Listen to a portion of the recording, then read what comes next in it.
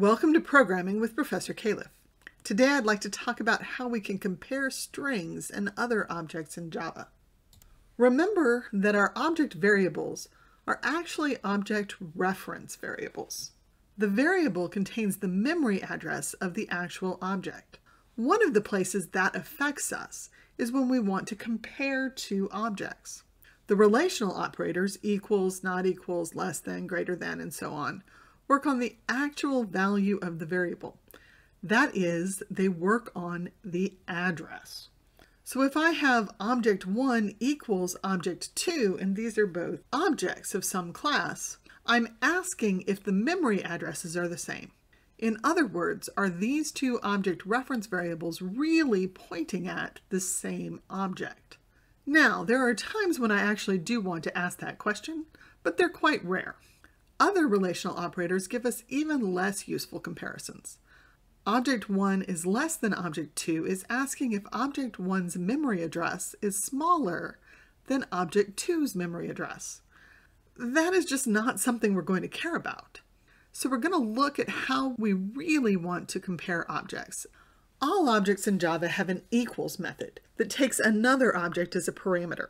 The method returns a boolean, that true or false value we need in a condition, and it has a parameter that is another object, the one we want to compare to. If the person who wrote the class wants people to be able to compare two objects for equality, then they will make sure that the equals method correctly compares the values in the objects. We'll look at how to do that when we start writing our own classes. Right now, I want to demonstrate the use of this with a built-in Java class called Gregorian Calendar, which deals with dates.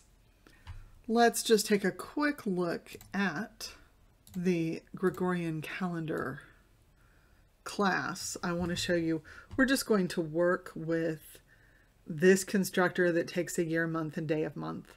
You can actually deal with times, but we don't really care about that. And then um, we're going to use the equals method.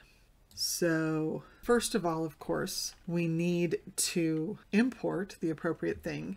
And Gregorian calendar happens to be in the java.util package. So I'm going to go ahead and make a few of these. I want a Gregorian calendar. Let's just call it date one is assigned new Gregorian calendar and let's make this 9 1 2020 and then I'm going to make another one that is a different date.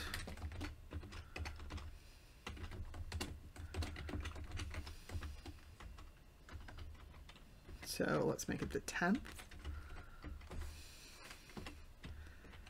And then I want one that has the same date as the first one.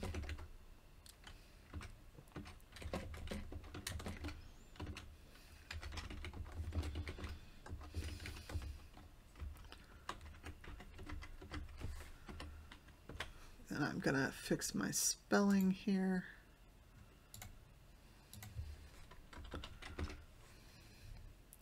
And finally, I'm going to have yet another one where I'm just have this object reference variable pointing at one of the Gregorian calendars I already have. So I'm going to have it point at the first date.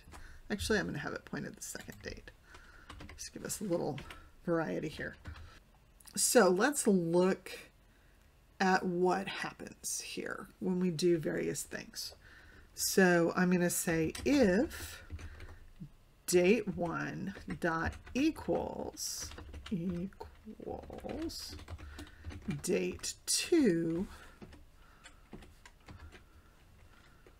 system dot out dot print line date one equals date two else system.out.println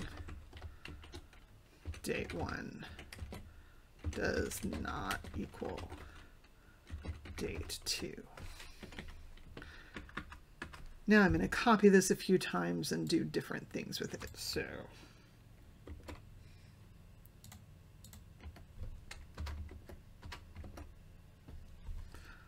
Okay, so we've got 1 and 2, which should not be equal.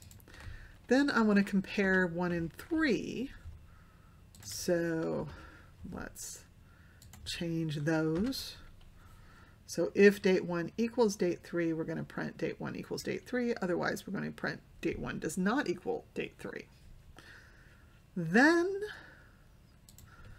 I want to actually try using the equals operator. So we're going to say if date equals with the operator, and let's go ahead.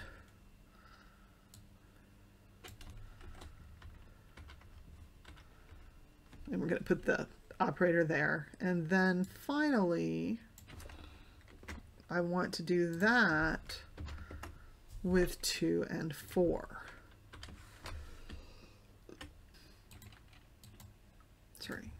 Two and four, two, four, four, two. Okay, so this will tell this will show us we expect. Actually, we didn't care about date one and date two. We care about date one and date three here because those are the ones that should be equal values but are not the same object. So let's go ahead and run this and go through why this is true. So date 1 does not equal date 2. Well, date 1 and date 2 have different values, so that's good.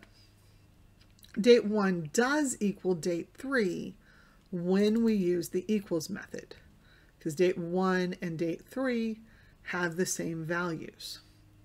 However, notice that date 1 does not equal date 3 if we use the equal equal. Because even though these two objects have the same values, they are not the same object. On the other hand, if we compare date 2 and date 4, in fact, they are equal because date 4 is pointing at the same object that date 2 is. Now notice that if I actually do the equals method with date 2 and date 4, I will have that same result. So let's real quickly just change our first one to be about date 2 and date 4.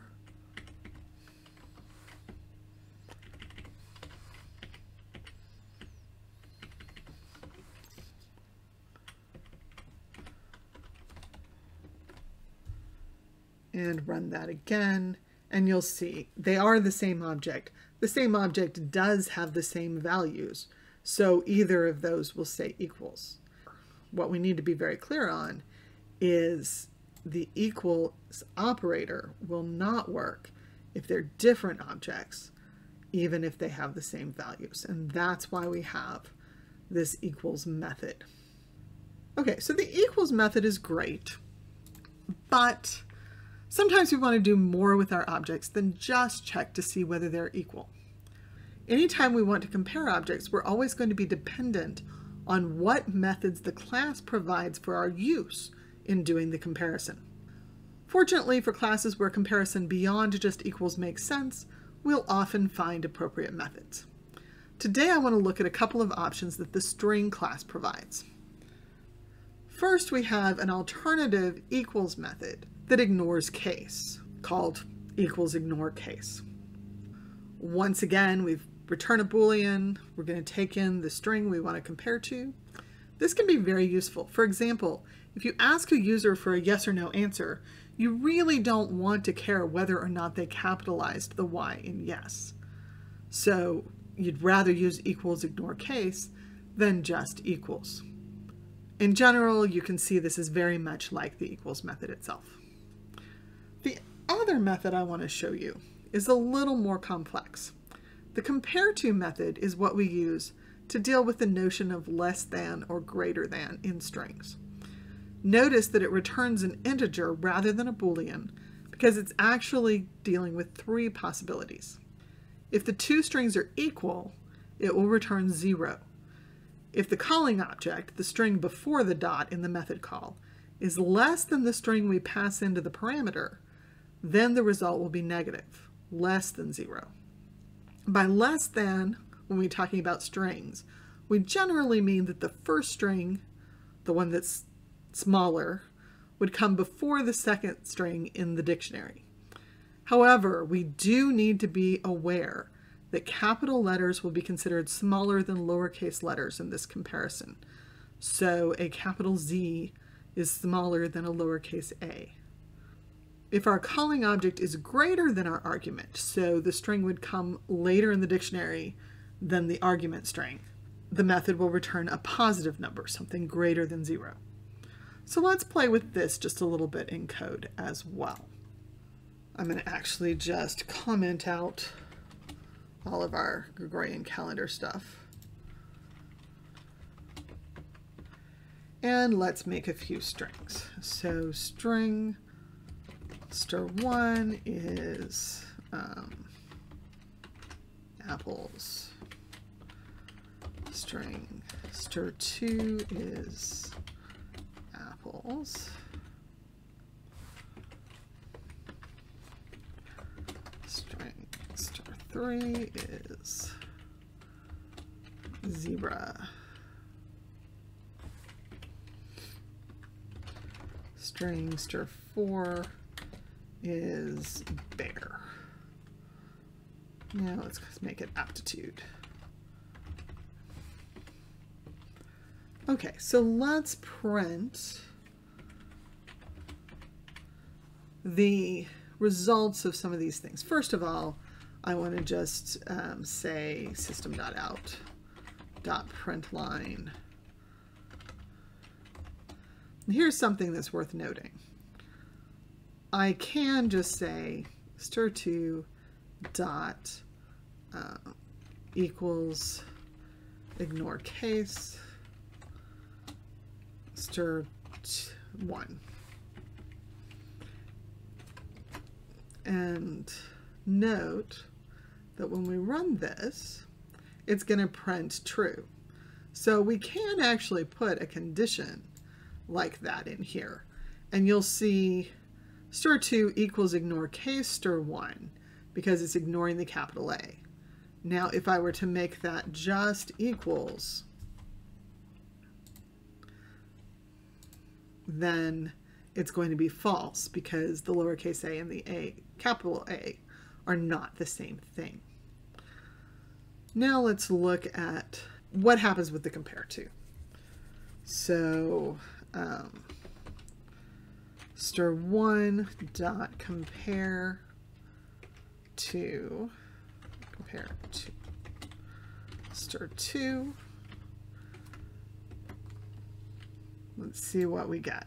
We get 32, so that's a positive number.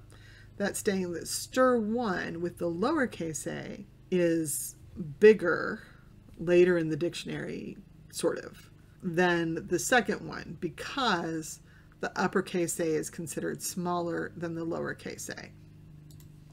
Now, what if I did this stir 1 and I'm comparing it to stir 4? Then I'm going to get a negative number because aptitude comes after apples. I just want to convince you that, you know, even if we're talking about capital Z, the case thing is going to cause us issues here. So if I do this, apples is bigger than zebra because zebra has this capital Z. So be aware of that. Now I will just let you know that there is another version of compare to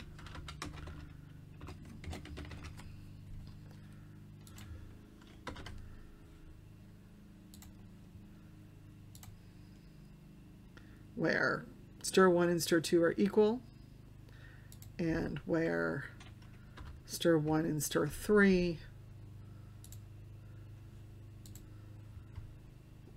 stir 3 is smaller, comes before zebra.